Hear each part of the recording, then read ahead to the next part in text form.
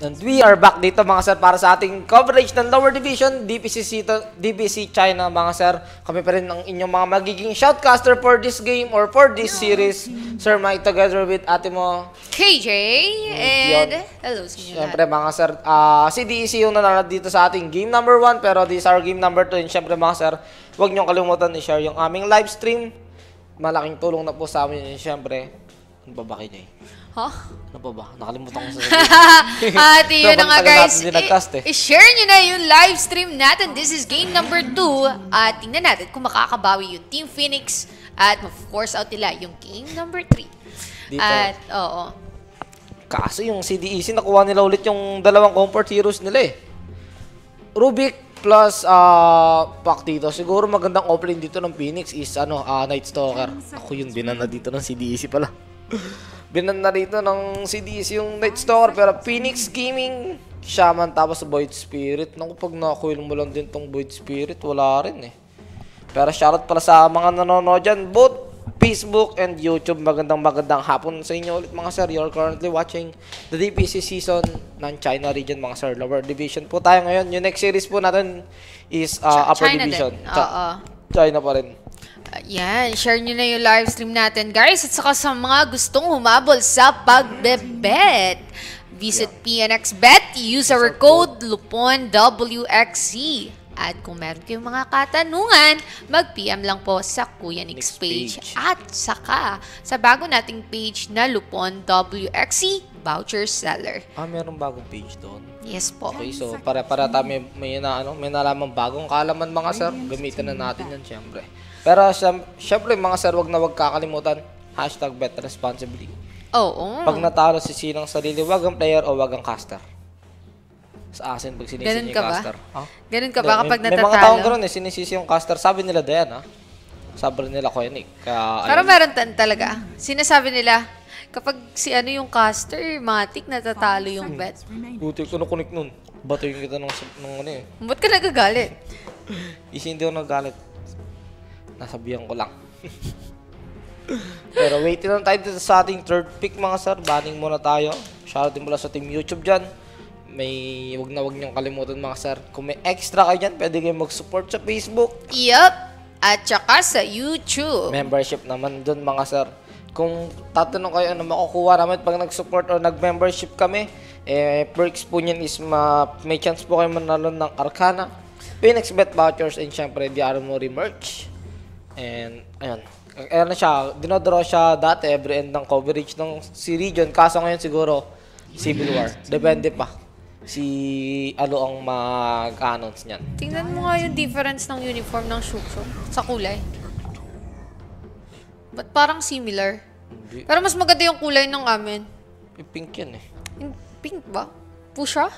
Fuchsia pink. Ganito ata yung kulay. Hindi ko alam basta pink yan. Oo. Pero may isa- pagka-maroon eh. Isa lang ang alam namin na kulay, pink. Oo, pero yun na nga guys.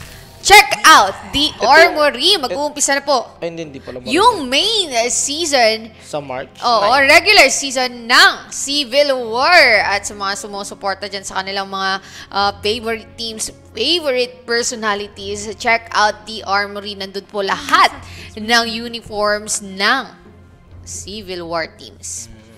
Yes. Pero shoutout pala kay Sir Arkins Basketball TV. Yan, CDEC kumuha. Ah, so this is gonna be 5 Phoenix. Oh. May wombo combo agad sila dito. Arena of Blood plus the Phoenix Egg. Pero, ayan, Phoenix Gaming naman sila naman ang kumuha ngayon ng Weaver. Which is offlane yata ulit. Tapos, same support dito yung, yung Phoenix Gaming. With the Trend Protector plus the Shadow Shaman. May pang lockdown ulit sila dito. Oo.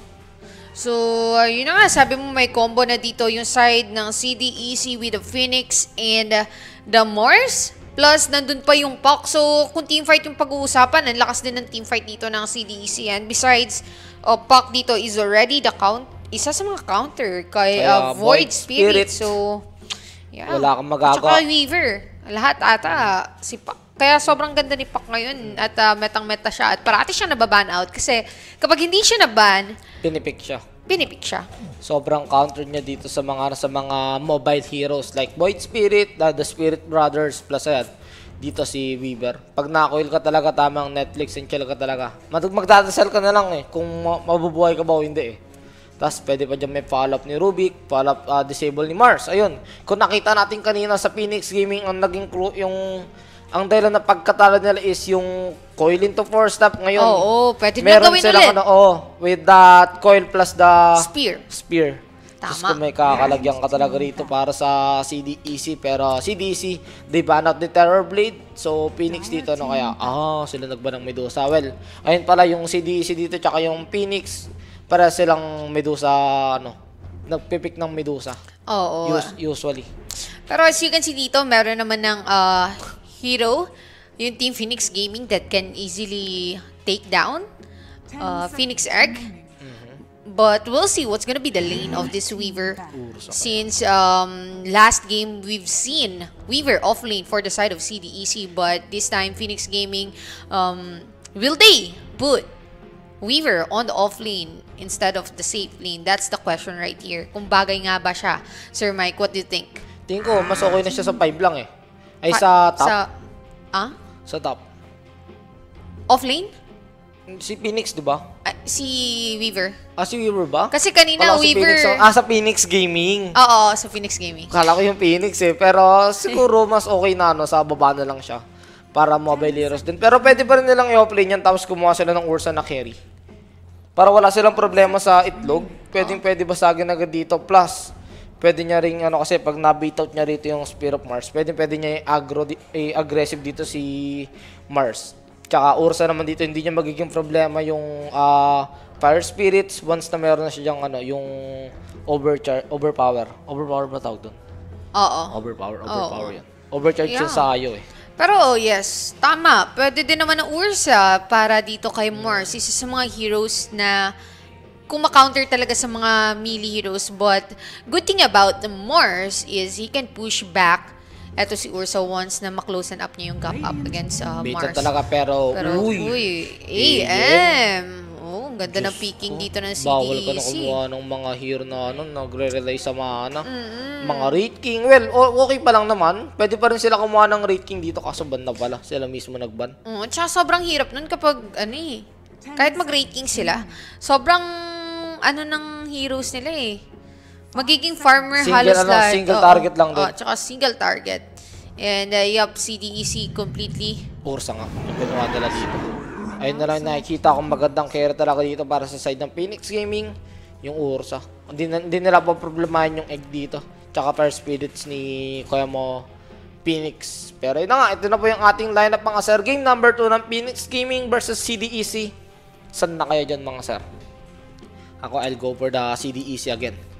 Maganda, nakita naman natin kung paano yung naging performance ni Pac kanina. So, I can expect, or we can expect na ganun ulit yung magiging performance niya dito. Makakapag-create siya ng enough space para kay anti-mage na makapag-farm. And ito yung hero na pag nakapag-farm talaga, eh, pwedeng, pwedeng pumasok sa backlines at patayin, patayin yung mga support doon.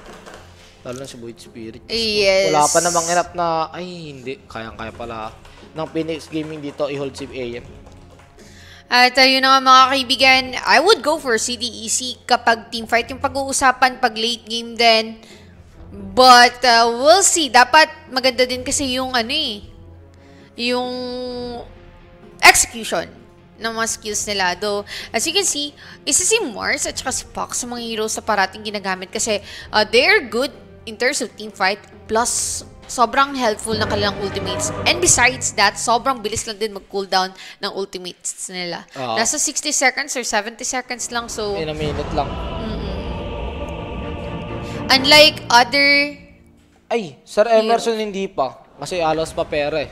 Hindi pa tayo makauwi ng Manila. Pero this, ano, siguro this week makakauwi ako. Pero again mga sir, this is our lower division ng China region. Pakilala ko muna rito. Game number 2. Phoenix Gaming. Gagamit sila ng Void Spirit. Tapos Shira sa kanyang Ursa. Planet with the Shadow Shaman. Meron silang Weaver. Plus double ZNQ sa kanyang Trend Protector. EAP for the side of CDEC once with the anti-mage blood for his Puck beyond the Man Mars and Rubik and the Phoenix. So, ayan. Hello kay Boss Dale Shoson. Welcome to the Lods. stream at kay Notorious, kay Emerson, at uh, alright. Guys, sa mga hindi pa nag-share na live stream natin, na. please uh, do share the live stream. Thank you, thank yung- you so much. Ito pa lang po yung ating first series. Meron pa po tayong second series na kakas nila din at possible sa ating Aki Mm. sa ating upper division mga sir. EG versus uh, Elephant yata. Ay, VG versus Elephant yata. Mm-mm. Diba? So, Elephant ba? Or Ehome versus LGD? Yung, di ko alam eh. Di ko alam.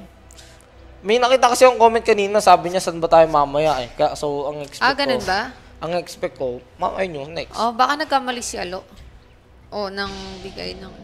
Pero we'll see. Tignan natin. Double check, double check. Ehome LGD ang maglalaban Yung mamaya. LGD talaga. Well, ayun, tignan na lang natin. Uy, two bounties. Ah, tig two bounties lang naman tayo dito. Yung LGD. Tama?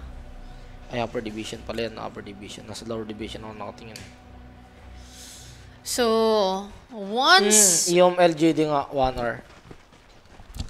1 hour. Siguro tapos ng, ano na to, ng series na to ay na yung next.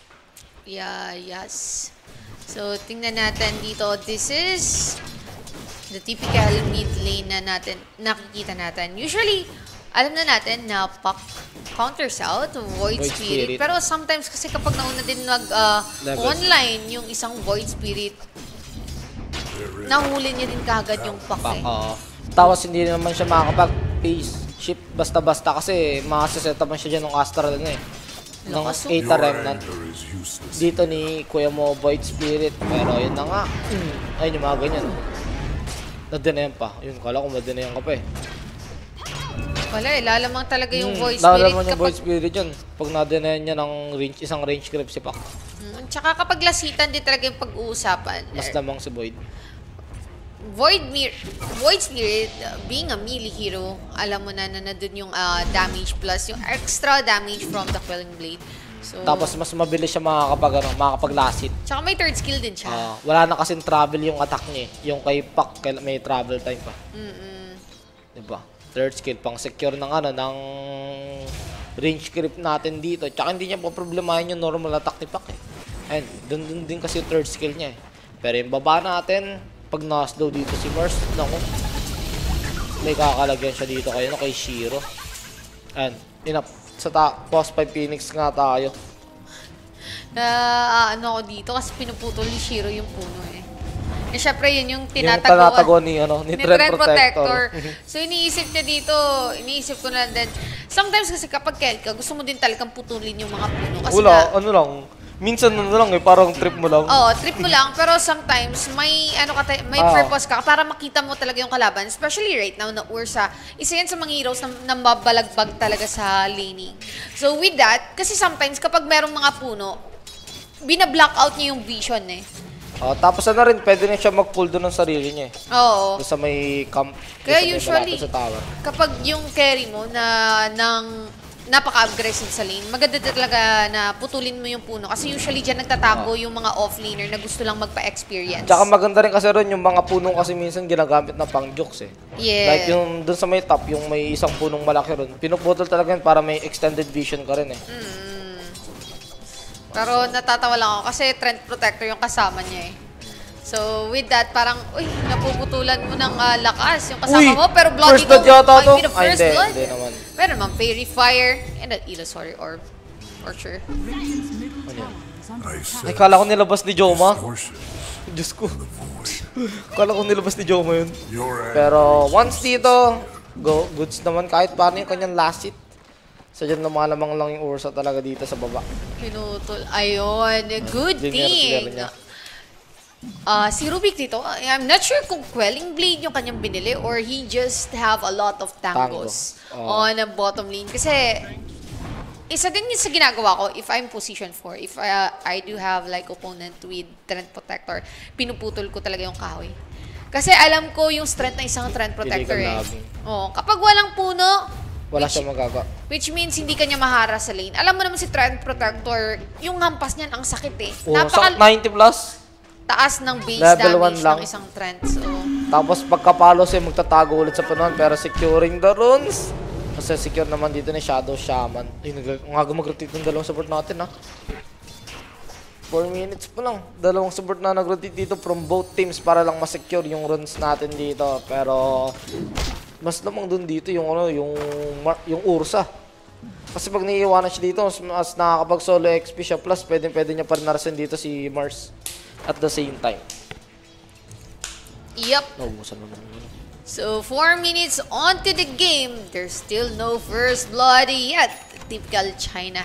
Pero pag sa ibang region to, kahit level 1 pa lang, nagkakabakbakan na kagad eh. Well, siguro isipin na natin na hindi talaga pang aggression yung mga heroes nila dito and they're just playing it safely. Uh, typical Chinese dotes. Ah, kundi naman ano, kundi naman playing safety, playing ano, push-push lang. Mga, di ba nga yun, mga Visage, Otherlord, Matic, alam mo sa China galing yung strat na yun eh. Mga push strat na hero, pero yung mid natin, yung mid natin magdidikta ng laro dito, tsaka yung position 4. Yung mga rotation na gagawin nila dito. Kaso, ayun, ito yung CDEC kanina, yung problema nila is, yung ah, initiator lang nila kanina ng game number 1 is yung pack ngayon, hindi na. Dalawa na yung initiator nila. Actually, tatlo pwede na mag-initiate dito si Once eh. Tapos follow-upan siya dito ng ah, kakampi niya. Dami. Daming tatalon dito sa side ng CDEC. While sa side naman ng Phoenix Gaming, dalawa lang. Weaver and Void Spirit. Oo, pero so far naman, doing pretty good yung Weaver. Napapahirapan nila yung AM kahit papano. Ang magiging problema lang is AM dito, meron na siyang ring. Of so, Legion. oo, meron Di na nga. siyang... Sakit ng Weaver Di, to. di niya na problema i-sustain dito sa lane. Pero yun nga mga sir, advantage naman dito ng Phoenix Gaming si Ursa Warrior once na magka-Battle Fury siya o may mangyaring teamfight malapit sa kanya, pwedeng pwede siya so ano, pwedeng pwede niya, pwedeng pwede siya doon na maki-join. Oh, Maki-teamfight pero wait, nako, first blood yata natin to ah. Oo, mukhang siya nga yung mga Peter first blood dito. Pero meron siyang angat. Pero Nahatak. Aether Remnant nahatak dito si Rubik. And first blood, makukuha dito ng Team Phoenix. Gamit na gamit talaga rin. Gamit na gamit yung Haystron dito ng Trend Protector. Tsaka sakit talaga ng palo niya. Mararamdaman mo talaga. Pero yun nga mga sir, speaking of first blood, alam niyo na, ang motto namin. Phoenix bet use our code, double XC. tama. At kung meron kayong mga katanungan, PM mag-PM lang. sa page. Coinex page, mga boss. Pero, Rubik dito, tamang refill lang ng bota rito ni Pac. Oh, okay. Nag-Falcon Blade dito si, ano, si Weaver, kaya medyo masakit din pala yung normal niya. With that, ano, claw. Oo. So, uh, AM dito, meron siyang boots. Okay. So, Direct wala na. Wala nang rate band, rate band. Direkta na to Battle Fury. Right, At uh, ano, may, may one daman na siya dyan. Tsaka okay lang naman. Ah, wala siyang raid ban, pero yun, rotation dito ni Void Spirit. Nakakuha nila yung Phoenix na sa may top. So, goods naman dito. Kahit paano, nakakuha naman sila ng kill. And mapipilitan na nila mag-jungle area talaga dito si Ayan. Oh no, Shiro dito. Nako, delikado meron mo siyang ultimate to use. And nandyan din si Trench Protector. Nakita rin siguro nila andun yung trend kaya hindi na nila tinuloy dito. Yung pagpatay kay Ursa Warrior. Kasi tingin ko kaya nila patayin yun eh. May Arena Blood na naman na rito si Mars. So once na mag-overextend dito ulit si Ursa, pwede pwede na siya patayin dito ng ano. Pero wait, may kuya ako narinig. Naku! Dream Coil, mana burn. mana. Pero uy, nahatak niya yung AM dito pa. The Silence. is right on time. Pero yun na nga, dito ma aabutan siya ng Phoenix. The Fire Spirit is burning him and another Fire Spirits will connect. Pero meron siyang bottle to sustain Tagal. himself. Plus, the heal coming from Trent Protector. Kaso, Naku. naku, the turnaround, CDEC, napasobra ata kayo ng pag-chase dito. Magbiblink at lang si AM. Sila pa yung nabigyan doon. Good thing dito, hindi nag-level 6 yung ngayon. Kasi kung level 6 siya doon, Patay na si. patay na si Void Spirit talaga ron. Isang mana void lang siya doon sa bag na akum niya. Pero good thing dito na balik. Yan ang Phoenix Gaming yung ginawang ginawa rito ng CDEC. Sila pa nakakuha rito which is yung Phoenix. Ang kawawa Phoenix dito. Mukhang matagal-tagal magde-level 6 tong si Phoenix ah. Oo. eh. Anong level ba ni Phoenix? Level 3 Three- ala? three pa lang. Level 3 lang ata. Tapos so, 9 minutes pa lang. Ay, 9 minutes na. oh, problema kasi nalugi sila sa lane. eh. Oo. Siguro, siguro si Phoenix magkakaroon siya ng level kapag nag-stay siya on top lane habang nagpupush yung Team Phoenix. Kasi ma... So, solo niya yung experience dahil nga right now, AM will just transition sa jungle. Uy! Pero beyond, he won't catch. Pero nagpakita pa rin si Mr. ZZQ and Kaso- spear. Meron tayo dyan, pero will he commit it? Hindi na. Parang nagagastos siya sa mana. Wala rin siyang ano rin, wala rin siyang kasama ron. Yung Rubik nandito sa mid nagpapa-XP. Pero ayun, nalugi nga sa top dito ngayon. Kasi pares din meal yung, kata yung ano, range yung katapat nila. Plus, masakit pa yung range na katapat nila. Weaver, nag-Falcon Blade, tapos Shaman, masakit din naman yung normal niyan. Lakas na itong Team Phoenix mag-lane. So, parang lakas nila mag-lane Kaso eh. nagpo-follow talaga sila sa Clash, no? Oo. Ganda ng pinapakita nila. It's just that siguro yung heroes nila kanina. Ano, mga nakaasa masyado kay Medusa. Oo. Ngayon, hindi naman na. Mayroon na silang Void Spirit, Weaver, tsaka o ano, Ang ng Tatlong na. eh. Ito kapag nakapag uh, usurper, si Void Spirit, yung pack talaga may kalalagyan. Kahit sabihin mo mag-spaceship kami, nakahabang na itarengan talaga siya, pero anti-mage dito, mid-threads na siya. Di, ano, bibili niya na lang, tapos di-deliver. Pero mukhang irerekta niya na siguro ng ano to, ng Claymore. Casual lang na lang siguro attack speed. Oo. Dito yung kanyang gloves of haste. Pero ito, yung baba na, yung baba kay ano, ang balak na push. Gusto nila sulitin yung siege, siege creep na meron sila dito. Kaso, Trend Protector trying to clear that wave. Naku, yun lang. Naku.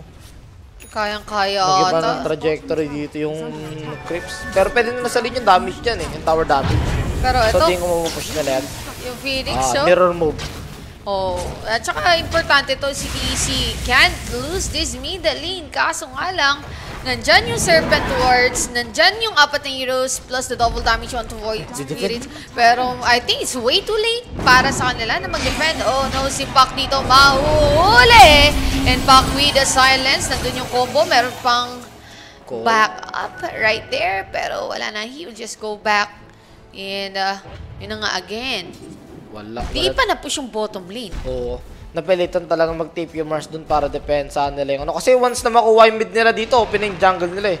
Mauubusan na ng pa-farman dito yung isang anti-mage. Yung kita naman natin, hindi naging maganda yung early game dito ng anti-mage. Alam mo, mag-unti-unti unti lang ano, gap niya dito kay Rubik. Magkalapit lang sila ng, ng gold.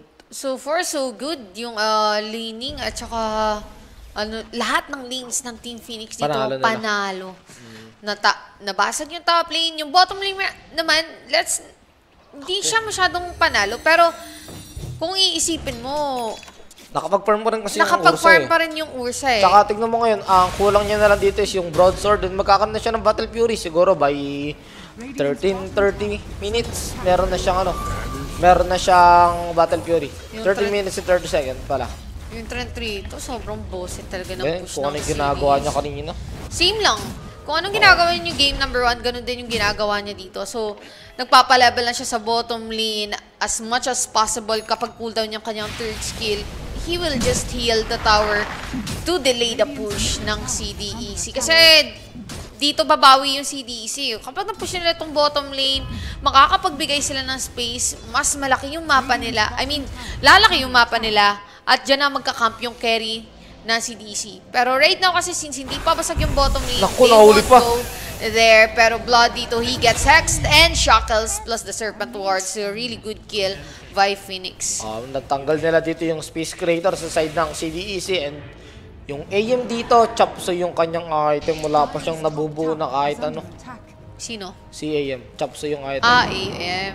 Okay. Pero Weaver going for that damage item, Maelstrom. Sukuchi yung nakagaw yun. May movement speed dito kahit paano yung isang Rubik. At mabilis lang naman din siya makakapag-clear ng wave with that Fade Bolt plus yung nakagaw niya skill na siya Kuchi nga. Eh, Ay no, grabe, minax lang yung pang-heal. tapos, Heal lang ngayon, mapupuno, mapupuno na ulit yung 50 ano. lang yung ano, 50 lang yung mana cost. Mapupuno na ulit yung buhay. Oo, na parang nagsasayang nga lang ng oras dito yung CDEC with Tapos the yun pa. Radiant's bottom tower this trend protector na nandito lang sa bottom lane. At uh, tingnan mo, binabalik lang ni Trent Protector. Nagsasayang lang talaga sila ng oras dyan. It's more like, it reminds me of OG versus LGD. Si OG, si TI Seb. nila, TI nila. Ay, oh, yung offlane, ano, offlane trend Oo. ni Seb. Yun yung ginagawa lang ng ano eh, ni Seb dun eh. Dinedali niya yung push ng uh, TI 8. ata. TI 8 Yun yata yan. ata. Ah, TI 8 yan, TI 8 yan.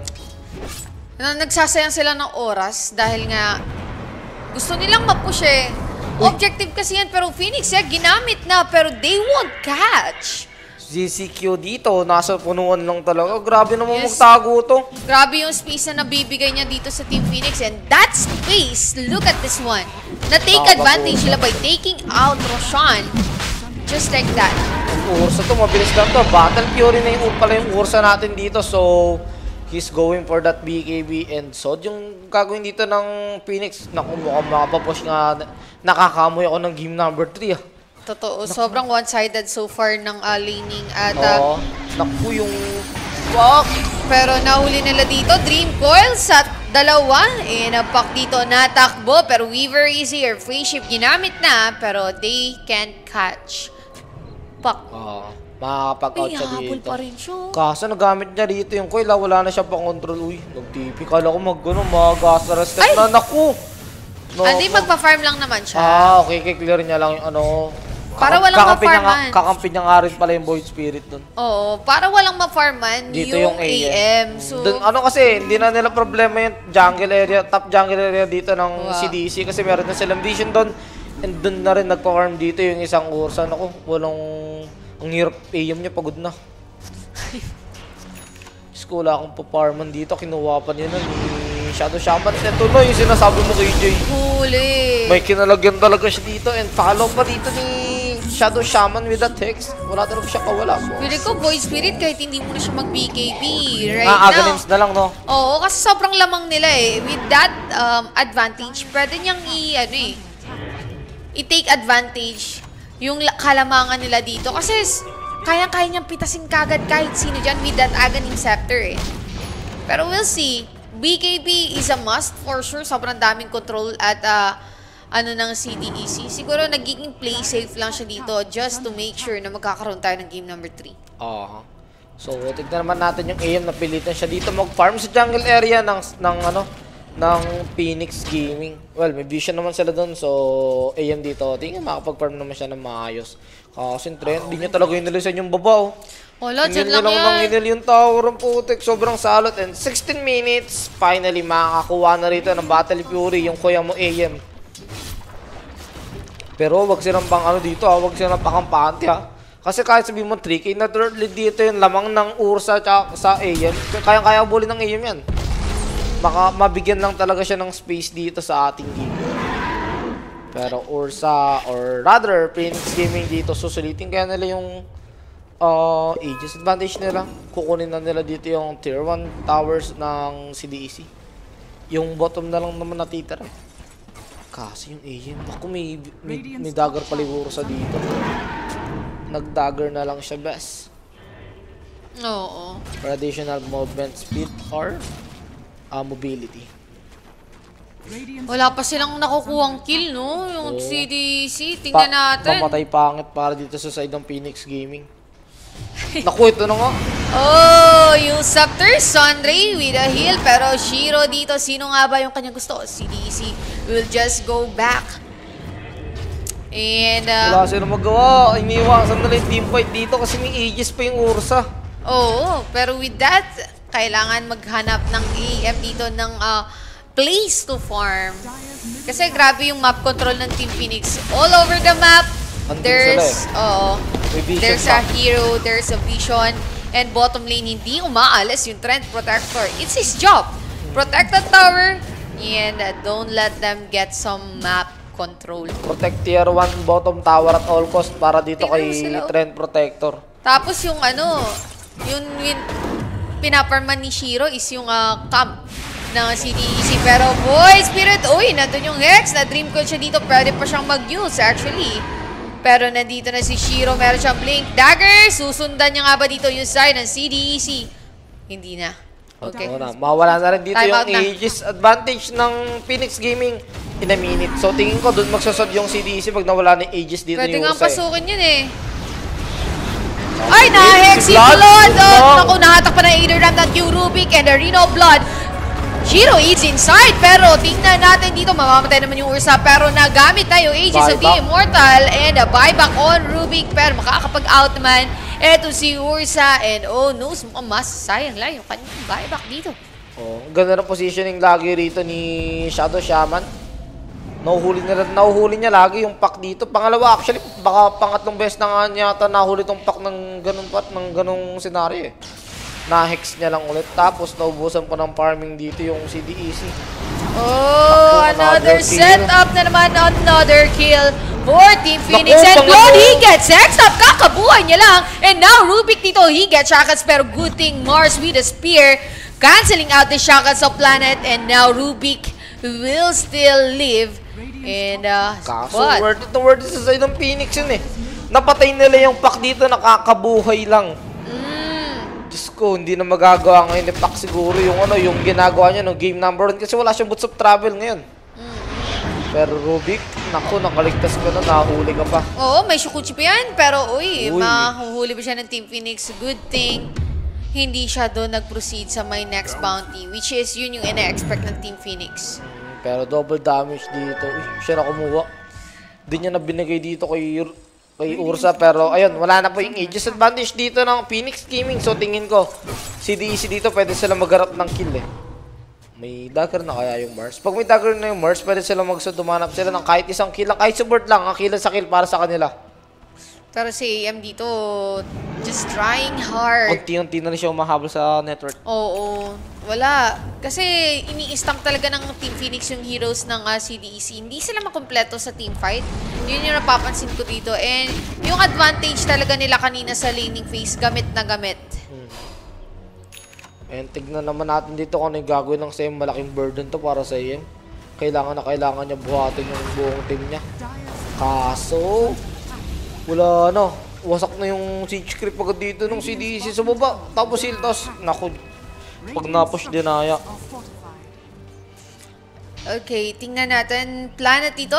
Sino muna namatay for team? Ah, okay. Si Planet ata yung namatay. Pero tingnan natin, will they catch the Rubik? And uh, yes, sir, that's Sentry right there. And Rubik dito, it's dieback. Lag sa FB po. Ay, may back kasi niyo po ang kasalanan po nagchat sa Facebook na lang. Pero BKB up dito para kay Ursa. Gagawin dyan. So, sintamong watch muna talaga kayo. Pero Void Spirit kinakal... Ano? Tinitignan niya pa siguro kung magbi-BKB siya o hindi. Binili niya lang yung Casual Ogre Axe. Kasi kahit ano naman pwede niya bilhin yan eh. Ogre Axe, pwede siya mag-Aghanim, pwede rin siya mag-BKB. Kumbaga tinatansya niya. Meron ng dagger dito yung isang pack. Wakapangulit na siya kahit paano. Hindi na siya basta-basta mahuli dito ni Shadow Shaman, I think. Oo, tinatansya lang ni Void Spirit kung ano bang mas bagay. Kailangan ko ba talaga ng BKB at the moment or mas Ah. kailangan natin ng damage? Yes, Mag-build of Discord dito si Pac. Sobrang tagal kong hindi nakita na naka-build of Discord ang Pac ah. Usually kasi nire-recta na kasi Ah, si Pac dagger, eh. no? Oo, dagger. BOT Ah, use. Witchblade. Witchblade ah, yun. Yung pang slow. Joke na naman to. Well, tignan natin. As of now pa naman, nakuhold pa rin ng Phoenix yung kanilang kalamangan eh. And yung dalawang core nila may BKB na so I doubt na makuhold nila dito yung Ursa at Weaver at the same time. Pero Ursa, trabaho lang. Pero in a minute mga sir, mag-spawn na ulit yung Roshan dito. Pag nag-ares dito yung Phoenix Gaming, kailangan na contest ng CDEC yun. Kasi once na makuha ng Phoenix yun ulit, mga ano eh, mawawala na ng outer towers dito yung CDEC. Kukunin, kukunin na ng Phoenix yun pag nakuha nila yung Roshan. Yung outer towers. Pero, uy! Oh, Rubik dito. He's dead for 40 seconds. Beyond naman dito, he's be being chased out by the voice speed. Patatama na naman yata yung Aether Remnant pero dito is Blood. With that goal. And where is the egg? Kaso tingnan natin, mamamatay nga ba? Pero oh, the Yule Scepter Aether Remnant. Mahuli yung Phoenix mga kaibigan. There is no damage at all for CDEC and now beyond dito getting chased by the Weaver. Kaya-kaya niya i-chase out yan pero dito na si Planet there's the Naku, na-hex vision. pa. Yep, nandun kasi yung Swarm giving out vision para kay Planet to release his skills and 3 man down for Team CDEC. May, may word na, may dagger na rin dito yung Shaman. So marami nang tatalon dito sa side ng Phoenix Gaming. Napakamalas din ni Phoenix doon. Mag-ex na sana siya doon. Kaso pag ano niya kasi, pagkatapos ng dive niya, sumakta siya doon sa main nila pag na-8 remnant ni Void Spirit. Kaya hindi na siya nakapag-follow up ng egg. Sayang naman yung combo nila sana ng dito. hero nila eh. Ang problema Oo. lang talaga, yung, Natalo sila sa lane. yung laning nila sobrang sabog eh. And sobrang grabe yung pinapakita ng Team Phoenix dito. Especially the Trend Protector na hindi niya talaga inaalisan yung bottom lane. So nasasayang yung oras ng uh, CDEC trying to push this lane. So they really need to Ito wait for AM. Kailangan na rin gawin ni Pac yung ginagawa niya kanina. So, kailangan nilang i-contest tong Roshan kasi hindi na nila mako-contest. Wala na. Mabilis lang kasi Urus at eh. Tapos yung tier 1 bottom tower dito ng Phoenix, boy na boy pa rin. Diyos ko, may Pag hindi nila nabasag yung bottom lane, pwede na silang tumawag. Mm. Kasi feeling ko magde-defend din din yung Phoenix eh. And They then, won't give any objective for Ayun nga. CDEC. There you go. The TPs are coming in on the bottom lane. Oh, si Shiro dito, nice. Nasibad. Pero Shiro dito, meron siya Aegis of the Immortal Planet will fall. Pero once naman dito, he is trapped. And uh, na-OG siya mga kaibigan. Pero tingnan natin, Phoenix Egg will pop. Pero walang mai-stun. Shiro naman dito, nakalabas sa arena and beyond dito mukhang mamamatay siya. And meanwhile naman, on the other side, Void Spirit trying to bring down the Phoenix. Pero meron pa Nabas- makansan dyan. Uy, Hindi na kailangan. Dahil sapat na yung damage dito ng Ursa. Yan, yung Weaver, hindi na siya magano. Dalawang carry na dito, eh, meron yung Phoenix Gaming. Nag-damage item na rin yung isang Weaver and is going for the data loss. So, I think CDEC dito, kailangan na nila ng milagro para mapanalo yung game natin. Sobrang one-sided ng game natin, mga sir. 7, 25 minutes into our game. 17 yung score and may 19k net worth lead dito yung Phoenix Gaming. Diyos ko, may basher pa yung Ursa. Baka makawala. Iniisip din kasi dito ng, uh, eto si Pac, sobrang nagiging aggressive siya, bat the bash! Kumagat, buenos pangit. Venus nga, yun, nag-bash bigla. Nagulat din siya dun eh. Kasi siya nagiging aggressive siya kasi nakikita niya yung shaman na, uy, wala si Wala shaman dito, walang huhuli sa akin. Unless may OG. Eh, yung OG ginamit kanina sa bottom lane eh. Oo. Pero the bash. Oh, shaman! Nandito na din si lang. Void Spirit. And Void Spirit with the backup. This is a sure dead Rubik. Grabe yung laruan dito ng Phoenix Gaming. Na-hold pa nila yung kalamangan nila ngayon. Pero tingin ko, si DC kaya hindi pa sila tumatawag ng GG. Napatay kasi nila yung Ursa kanina eh. Mm. So tingin nila kaya, pa, Kaya-kaya. kaya naman namin to. Pero speaking of AM, uy makakapag-blink out naman siya dito. Pero- hindi nag-proc yung basher. Tingnan natin, beyond. At ayun na. A-out na dito yung Phoenix. Wala silang BKB uh, to use. Pero outer towers dito ng CDC, wala na mga sir. Napabagsak na lahat ng Phoenix Gaming yun. Trend Protector going for that mechanism. Pero speaking of Trend Protector, nasibat siya dito. Pero si Beyond, siya pa nga ata yung mamamatay dito. And the planet with a Hex. And the. Serpent towards the Dream Coil. Ginamit na. Pero Blood pa si being spotted right there. Here comes the use of the Scepter and Astral Spirit. And another three heroes down. And I think this is it, Pansit. Pero syempre, this is China. JJ, Ayun. tina- tinawag na rito Alam ng na nila, there's Sobrang no way. one-sided talaga ng game natin. Hindi na nila kaya yung panalo to eh. Pero ayun nga, Phoenix Gaming mapoforce nila ng game number 3 yung ating series mga sir. Congrats para sa Phoenix Gaming. So tignan natin kung sino makakapag sino makakapano, makakapanalo sa ating game number 3 mga sir. Sobrang one-sided ng game. Oo, sobra. Well, siguro kasi panalo lahat ng lane. Nakita natin si Void Spirit kung paano siya mag-lean up against Puck. And, uh, hmm, tsaka yung mga rotations din ni Void Spirit. Gamit And, na gamit. Oo, gamit na gamit. And uh, Ka- wala yata talagang pinanalo team fight yung CDEC eh. Parati silang incomplete.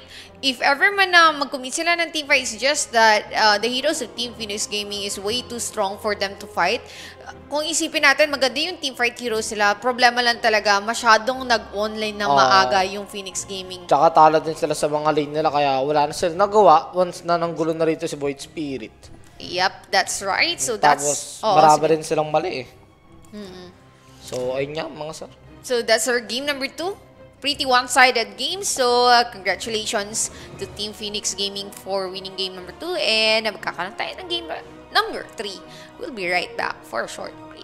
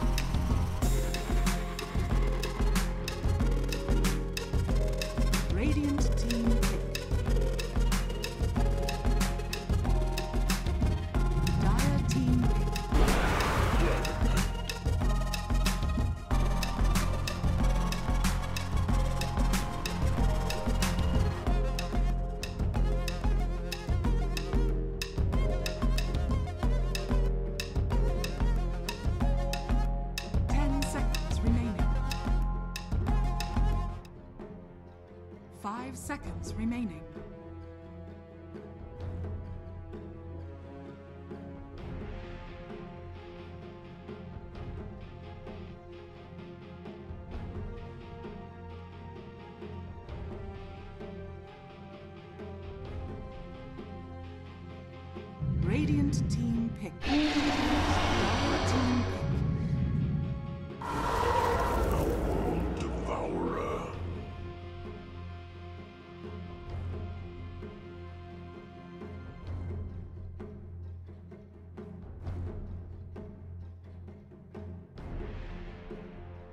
Ten seconds remaining. Five seconds remaining.